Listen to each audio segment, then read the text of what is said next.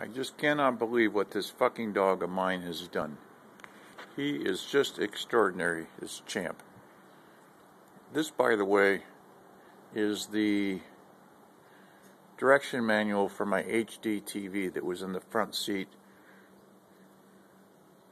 There's a little blood on it. I think he might have eaten a staple, a cocksucker. I hope he did. But boys, here's what it's like.